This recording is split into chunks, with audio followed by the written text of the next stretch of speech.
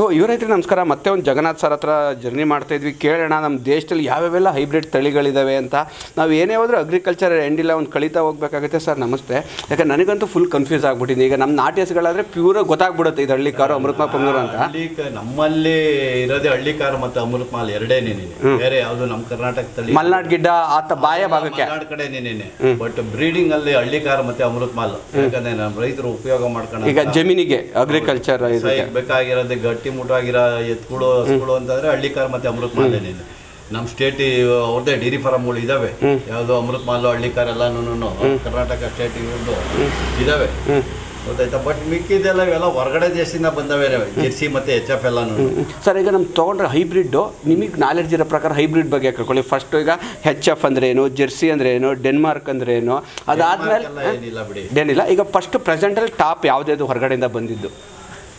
Sir ನಮ್ಮಲ್ಲಿ H F ಮತ್ತೆ J H F ಎಲ್ಲಾನು ಈ ಜರ್ಮನಿಂದನೇ ಬಂದು ಹಾಲೆಂಡ್. ಹಾಲೆಂಡ್ ಜರ್ಮನಿಂದ ತಗೊಂಬಂದು ನಮ್ಮ ರೈತರುಗಳಿಗೆಲ್ಲ ಕೊಟ್ಟರು ಫಸ್ಟ್ ದೇವನಹಳ್ಳಿ ಕಡೆ ಮತ್ತೆ ಊಟಿನಲ್ಲೆಲ್ಲ ಕೊಟ್ಟಿದ್ರು.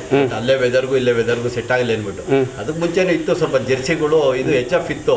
ಅಷ್ಟು ಬ್ರೀಡ್ ಇರಲಿಲ್ಲ. ಓಕೆ ಈ ನಮ್ಮಲ್ಲಿ ಕೆಲವು ಈ ಕೆಲವರು ಡೈರಿ ಫಾರ್ಮರ್ಸ್ಗೆ ಅಂತಾನೆ ಡೈರಿಗೆ ಒಂದೊಂದು ಎರಡೆರಡು ಅಂದ್ಬಿಟ್ಟು ದೇವನಹಳ್ಳಿ ತಾಲೂಕು ಅಲ್ಲೆಲ್ಲ ಸ್ವಲ್ಪ ಜರ್ಮನ್ ಹಸುಗಳು ಕೊಟ್ಟರು ಬಟ್ ಎಲ್ಲ ಒಳ್ಳೆ ಹಸುಗಳೇನೆ.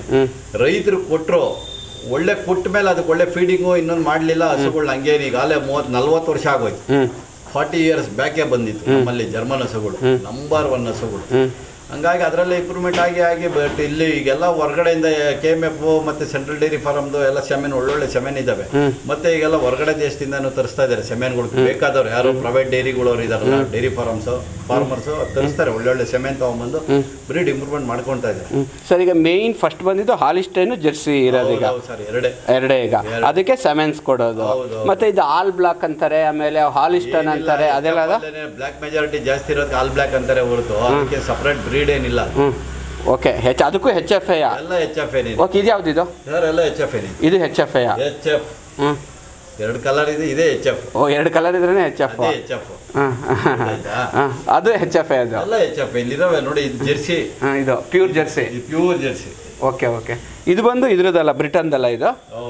ಹೆಚ್ ಎಫ್ಗೂ ಜೆರ್ಸಿದು ಏನು ಡಿಫ್ರೆನ್ಸ್ ಇದೆ? ಯಾಕಂದ್ರೆ ಇದು ಬಂದು ಇದು ಬರಲ್ಲ ಅಂತಾರಲ್ಲ ಅದು. ಏನಿಲ್ಲ. ಬ್ರೀಡಿಂಗ್ ಅಂತಂದ್ರೆ ಬ್ರೀಡೇ ಬೇರೆ. ಇದು ಫ್ಯಾಟ್ ಬರಲ್ಲ ಇದು ಫ್ಯಾಟ್ ಬರುತ್ತೆ ಅಂತಾರಲ್ಲ? ಅದೆಲ್ಲ ನಮ್ಮಲ್ಲಿ ಸುಳ್ಳು. ಈಗ ನಾವು ನಾವು ಹಾಲೆ ಬೇರೆ ದೇಶಗಳಲ್ಲಿ ನೋಡ್ಕೊಂಡ್ ಬಂದಿದೀವಿ ಪರ್ ಡೇ ನಲ್ವತ್ತು ಲೀಟರ್ ಐವತ್ತು ಲೀಟರ್ ಹಾಲು ಕರೀತಾ ಇದೆ ಹಸುಗಳು ಫ್ಯಾಟು ಬರ್ತಾ ಇದೆ ಎಸ್ ಎನ್ ಎಫ್ ಬರ್ತಾ ಇದೆ. ನಾವು ಹಾಕೋ ಫೀಡ್ ಮೇಲೆ ಡಿಪೆಂಡ್ ಆಗುತ್ತೆ. ಫೀಡ್ ಮೇಲೆ. ಹೌದು. ಇಲ್ಲ ಅಂತಾರೆ ಕೆಲವರು ಜನ ಹತ್ತು ಲೀಟರ್ ಹಾಲು ಕರೆದ್ರೆ ಹಾಲು ಫ್ಯಾಟ್ ಬರಲ್ಲ ಎಸ್ ಎನ್ ಎಫ್ ಬರಲ್ಲ ಅದೆಲ್ಲ ಸುಳ್ಳು. ನಾವು ಹೊಟ್ಟೆಗೆ ಹಾಕ್ಲಿ ಹಸುಗೆ. ನಾನು ತಗೊಂಬಂದಿದ್ದೀನಿ ಹಸುಗಳು. ನಮ್ಮಲ್ಲಿ ಎಸ್ ಎನ್ ಎಫ್ ಫ್ಯಾಟ್ ಎಲ್ಲ ಫಸ್ಟ್ ಕ್ಲಾಸ್ ಬರುತ್ತೆ. ನೀವು ಫಾರಿನ್ಗೆ ತಂದಿದ್ದೀರಾ ಸರ್? ಹೌದು ಪಂಜಾಬಿಂದಾನೆ ಬಂದಿದೆ. ಇಲ್ಲೆಲ್ಲ ಅಲ್ಲಿರೋವೆಲ್ಲ ಪಂಜಾಬಿಂದ ಬಂದಿರೋ ಪಂಜಾಬಿಂದ. ನಿಮ್ಮ ಹತ್ರ ಎಲ್ಲ ಒಂದೊಂದು ಎಷ್ಟೆಷ್ಟು ಲೀಟರ್ ಹಾಲು ಕೊಡ್ತಾರೆ sir? Fifty fifty per day per day forty five fifty ಇದೇ ಹೋಗಿದೆ ಇದು.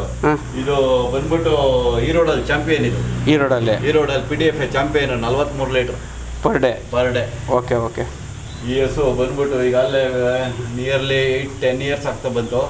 ಇದು ಅವತ್ತೇನೆ ನೆನೆ ಪಿ ಡಿ ಎಫ್ ಈರೋಡಲ್ಲಿ ಚಾಂಪಿಯನ್ ಇಯರ್ಸು ಇದು ಫಸ್ಟ್ ಲ್ಯಾಕ್ಟೇಷನ್ ತರ್ಟಿ ಫೈವ್ ಹೋಗಿದ್ದು ಇದು ಸೆಕೆಂಡ್ ಲ್ಯಾಕ್ಟೇಷನ್ ಪ್ರೆಗ್ನೆಂಟ್ ಇವಾಗ. ನಮ್ಮಲ್ಲಿ ಕರೆಯುತ್ತೆ ಬ್ರೀಡಿಂಗ್ ಇರ್ಬೇಕು ಸರ್ ಮೇನ್ ಬ್ರೀಡ್ ಬ್ರೀಡಿಂಗ್ ಎಲ್ಲ ಹೆಂಗ್ ಮೇಂಟೈನ್ ಮಾಡ್ತೀರಾ ಸರ್ ಗೊತ್ತಾಗುತ್ತೆ ಹಸು ಹಸು ನೋಡೋವಾಗಲೇ ಬ್ರೀಡ್ ಗೊತ್ತಾಗುತ್ತೆ. ಓಕೆ ಹಸು body lining body structure height weight ಎಲ್ಲ ಬೇಕು ಹಸುಗೆ. ಗೊತ್ತಾಯ್ತಾ? ಹಂಗಾಗಿ ಆದ್ರೆ ಬ್ರೀಡ್ ಗೊತ್ತಾಗುತ್ತೆ. ಹಸುಗಳು ನೋಡೋವಾಗಲೇ ಈ ಹಸು ಇಷ್ಟ ಕರೆಯುತ್ತೆ ಅನ್ನೋದು ಗೊತ್ತಾಗುತ್ತೆ. ನಮ್ಮಲ್ಲಿ ಜೆರ್ಸಿ ತರ್ಟಿ ಫೈವ್ ಪ್ಲಸ್ ಹೋಗುತ್ತೆ. ಇದು ಜೆರ್ಸಿ ತರ್ಟಿ ಫೈವ್ ಪ್ಲಸ್ ನೋಡಿ ಫಸ್ಟ್ ಲಾಕ್ಟೇಷನ್ ಇಪ್ಪತ್ತೆರಡು ಇಪ್ಪತ್ಮೂರು ಲೀಟರ್ ಆಯ್ತು ಇದು. ನೋಡಿ ಇದು? ಚಿಕ್ಕದಾಗೆ ಇದೆ. ನೋಡಿ ಅದೆಲ್ಲ ತರ್ಟಿ ಫೈವ್ ಪ್ಲಸ್ ಹೋಗುತ್ತೆ ಜೆರ್ಸಿ. ಓ ಇದು? ಹೌದು ತರ್ಟಿ ಫೈವ್ ಪ್ಲಸ್ ಹೋಗುತ್ತೆ. ನಮ್ಮಲ್ಲಿ ಪಂಜಾಬಲ್ಲೆಲ್ಲ ಫಾರ್ಟಿ ಪ್ಲಸ್ ಇದೆ ಜೆರ್ಸಿಗಳೇ. ಫಾರ್ಟಿ ಪ್ಲಸ್ ಫಾರ್ಟಿ ಪ್ಲಸ್ ಬರುತ್ತೆ. ಅದೇ ಬರುತ್ತೆ. ಓಕೆ ಕರೆಕ್ಟಾಗಿ ಫೀಡಿಂಗ್ ಮಾಡಿದ್ರೆ ಫಾರ್ಟಿ ಪ್ಲಸ್ ಬರುತ್ತೆ ಅದು. ಇದು ಆ ಕಡೆ ತರ್ಟಿ ಫೈವ್ ಪ್ಲಸ್ ನೋಡಕ್ ಮತ್ತೆ ಚಿಕ್ಕಕ್ಕಿದೆ? ಬ್ರೀಡು ಬ್ರೀಡು ಓಕೆ ಏನಿದ್ರೆ ಬ್ಲಡ್ ಲೈನ್ ಅಂತಲ್ಲ ಆ ಥರ ಬ್ಲಡ್ ಲೈನ್ ಬ್ರೀಡು ಮತ್ತೆ ನೀವು ಸಮಸ್ಯೆ ಇಲ್ಲ ಇಲ್ಲೇ ಗೌರ್ಮೆಂಟ್ ಎಲ್ಲ ಹಾಕ್ತೀರಾ ನೀವು ಹೊರಗಡೆ ಇಲ್ಲ ಸರ್? ನಮ್ಮಲ್ಲಿ ತಕ್ಷಣಕ್ಕೆ ಏನು ಮಾಡ್ತೀರಿ ಇಲ್ಲಿ ನಮ್ಮಲ್ಲಿ ಕಂಟೈನರ್ ಮೇಂಟೈನ್ ಮಾಡಕ್ ಆಗ್ತಾ ಇಲ್ಲ. ಓಕೆ ಅದರಿಂದ ನಾವು ಕೆಲವೆಲ್ಲ ಇಂಪಾರ್ಟೆಂಟ್ ಸಮಯ ಸಿಗುತ್ತೆ. ಆ ಟೈಮಲ್ಲಿ ಹಾಕ್ಸ್ತೀವಿ. ಕೆಲವು ಇಲ್ಲ ಎಮರ್ಜೆನ್ಸಿ ಇದ್ರೆ ಇಲ್ಲೇ ಅದನ್ನ ಕೆ ಎಂ ಎಫ್ದು ಅದು ಯಾರ್ದಾನು ತರ್ಸಾಕ್ತೀವಿ. ಈಗ ಬುಲ್ಗಳು ನೀವೇನು ಇಟ್ಕೊಂಡಿರೋ ಸರ್, ಬುಲ್ಲೆಲ್ಲ ಏನಕ್ಕೆ ಮೇಂಟೈನ್ ಮಾಡೋದ ಸರ್? ಅವರು ಬುಲ್ ಮೇಂಟೈನ್ ಒಂದೇ ಬ್ರೀಡ್ ಹೋಗುತ್ತೆ. ಒಂದೇ ಬ್ರೀಡು ಓಕೆ ಡಿಫ್ರೆಂಟ್ ಬ್ರೀಡ್ ಬರೋದಿಲ್ಲ. ಅದ್ರ ತಾಯಿ ಜನ್ರೇಷನ್ನು ಇಲ್ಲ ತಂದೆ ಜನ್ರೇಷನ್ ಬೇಕು. ಗೊತ್ತಾಯ್ತಾ? ಆಮೇಲೆ ಏನಾಗುತ್ತೆ ಎಲ್ಲ ಒಂದೇ ಥರ ಬ್ರೀಡಿಂಗ್ ಬಂದ್ಬಿಡುತ್ತೆ. ಇದು ಈ ಸೆಮೆನಲ್ಲಿ ಬಂದಂಗೆ ಬುಲ್ಲಲ್ಲಿ ಬರೋದಿಲ್ಲ. ಬರೋದಿಲ್ಲ. ಓಕೆ ನಾವು ಜಗನ್ನಾಥ್ ಸರ್ ಹತ್ರ ಒಂದು ಇದ್ರ ಬಗ್ಗೆ ಮಾತಾಡೋಣ ಯಾವುದೋ ಒಂದು ಇದ್ರ ಬಗ್ಗೆ ಫೀಡ್ ಬಗ್ಗೆ ಮಾತಾಡೋಣ.